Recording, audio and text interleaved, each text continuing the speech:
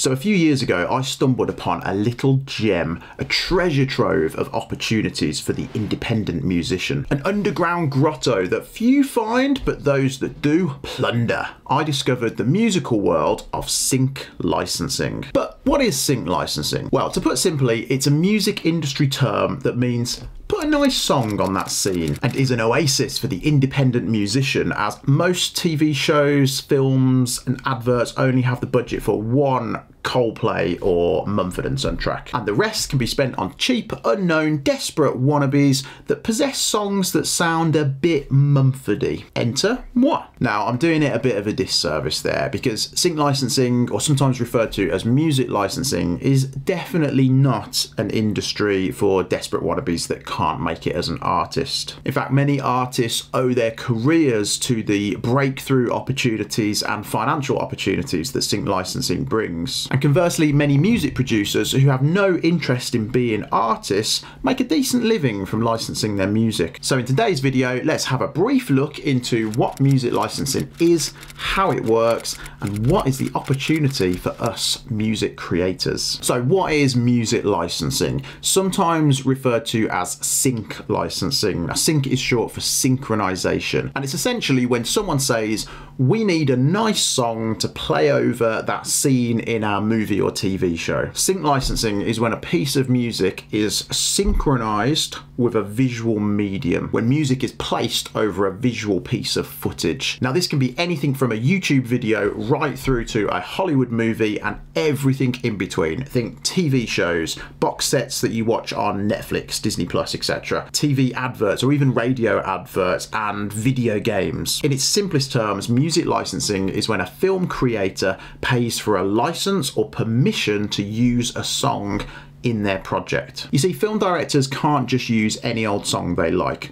If they're working on a film or a project that will probably earn them some sort of money, they must pay a license to be able to use a song for commercial gain. So to illustrate this a little more, let's go back to perhaps the easiest or purest of analogy. Uh, let's say it's your Aunt Gwen's wedding and she has asked you to do some filming to capture her special day on one of those old camcorders with the little flip out screen. You go to Aunt Gwen's wedding, you film the entire day and you bring it back upload the footage onto your laptop and you have a little dabble in movie creation. You come up with an edit that you like the look of and just finish it off, just to finish off the beauty of your latest footage uh, for your Aunt Gwen's wedding, you decide the perfect song to go on your Aunt Gwen's wedding video would be Adele's version of Make You Feel My Love. So with a little bit of editing, you've now got your Aunt Gwen's wedding video with Adele's Make You Feel My Love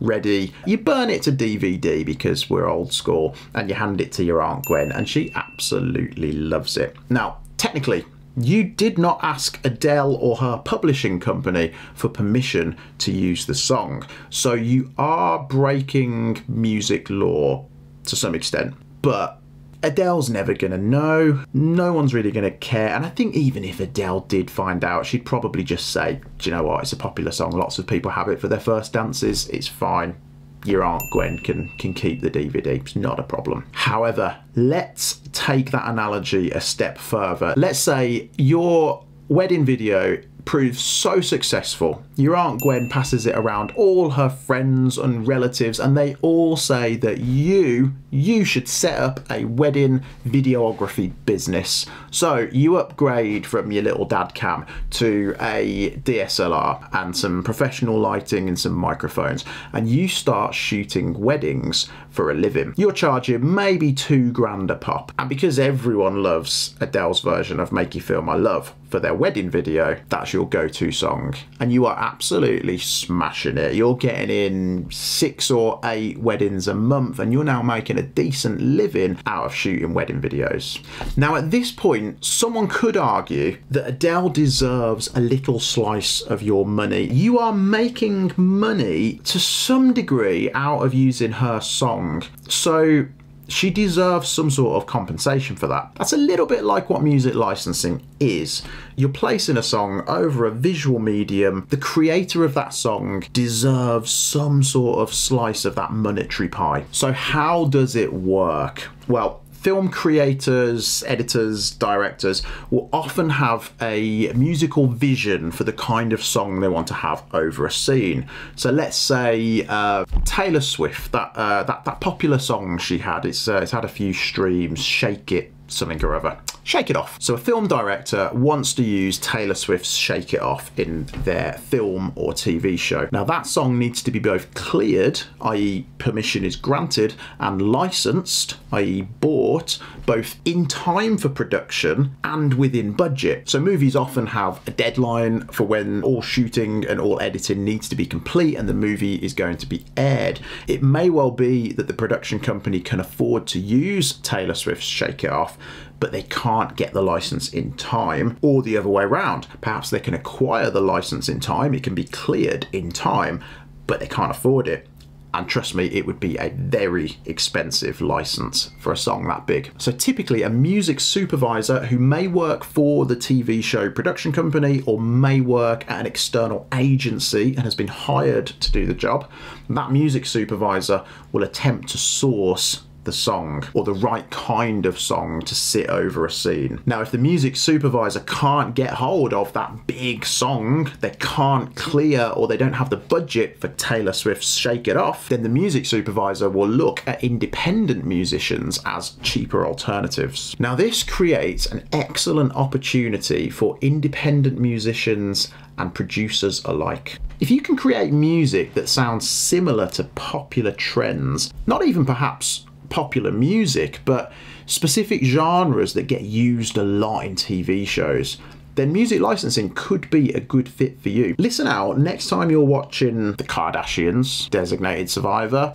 the news, whatever it is that happens to be on, and try and pick out what kind of music's being played. Is it orchestral? Is it kind of folky, acoustic? Is it hard rock? Is it an instrumental track? Or is it a fully produced vocal track? If you think you can replicate that kind of music, maybe you already are. Maybe you're maybe you write songs in a particular genre and you think my music could be used on TV shows. Or maybe you don't write that kind of music, but you could. You know you've got the ability to replicate the kind of music that's being used a lot in TV. Well, then it's worth considering sync licensing. Now, there are different types of sync licensing for different composers, almost different lanes that as a composer or songwriter or producer you might fit into. I think we'll talk about that in another video, in a follow-up video, because there's a lot more to talk about. But for now, let's keep things simple. How do you go about getting your music onto a TV show. Now, in theory, you could approach music supervisors directly. Now, that may sound difficult, but we live in this wonderful modern age of the internet, Google searches, Instagram, LinkedIn, where it's not that difficult to find somebody's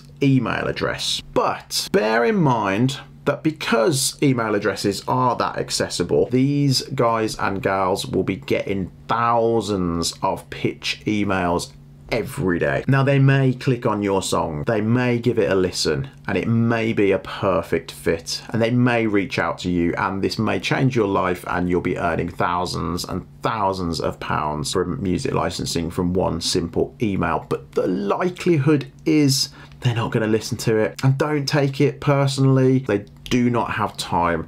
So what music supervisors normally do is they will work with music licensing agencies and music libraries to find their music. Think of a music licensing agency and a music library as the middleman almost in the way that recruitment industry works. There's an employer who wants a candidate, there's a candidate who wants a job, a recruitment consultant will match those two together. Music licensing agency or music library kind of works in the same way. You will be far better off going through a music licensing agency or a music library to get your music into film and TV shows. Now, typically you can expect a 50-50 split on revenue. That may sound a bit drastic, 50-50. So an agency will get 50% of your licensing fee, even though they didn't technically create any music. But you have to consider the odds here of you landing a song song in a big TV show without their help and how much potential income can be generated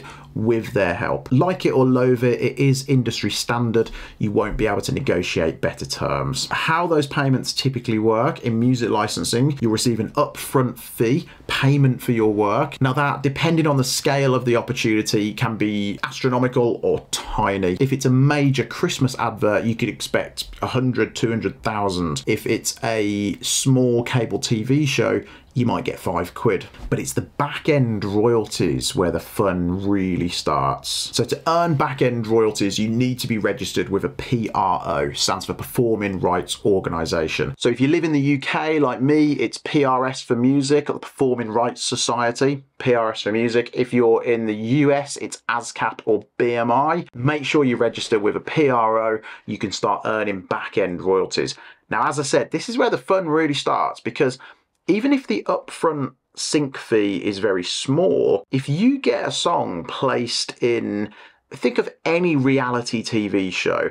Every time you put on Virgin TV, Sky TV, a cable network, and you flick through the channels, those TV shows like the Kardashians, like Dog the Bounty Hunter, are being played on repeat anywhere in the world, constantly, over and over every time it's played, that generates a royalty. So when my royalty statements come through every three months, I'm still earning money from songs that were placed four or five years ago. And that will continue to happen. So although quite small up front, and even the back end royalties first time they roll around might not look that impressive, over time they will build up and start to generate a fairly decent income. So there we go. I hope this whistle stop tour of music licensing has answered the question of what music licensing is. I am planning to do more on sync licensing, so please do stick around for future videos if that's something you're into. If you do want to see more on sync licensing, songwriting, and all things music creation, then please do consider subscribing. And with that, my friends, I'll see you in the next video.